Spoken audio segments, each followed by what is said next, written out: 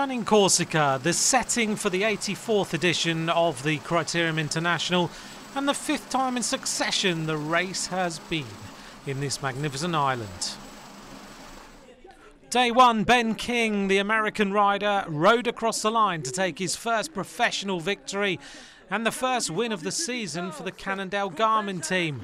The first yellow jersey on the shoulders of the young American. In the afternoon, Fabio Felline got an early birthday present as he powered across the line to take the time trial victory over seven kilometres, the ninth time for him in the top 10 already in 2015. The yellow jersey staying on the shoulders of Ben King of Cannondale Garmin, heading into the final stage.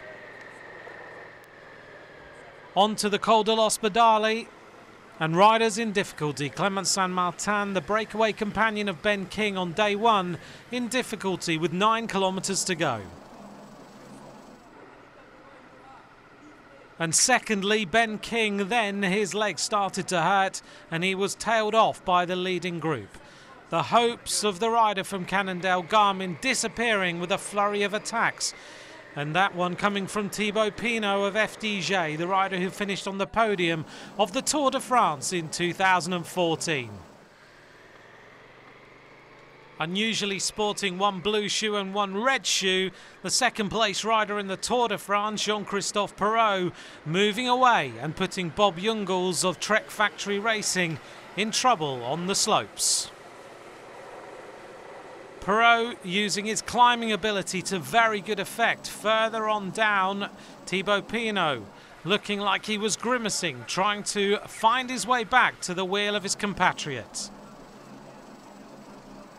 The gap growing, 25 seconds as Péraud was urged on by the crowd.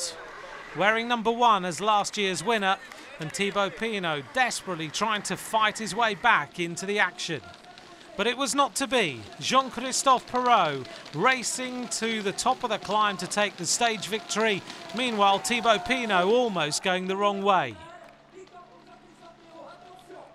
The 2010 winner, Pierrick Fedrigo, hitting the line in second place with Thibaut Pinot in third. A great day for Jean-Christophe Péraud. Back-to-back wins in Criterium International for him.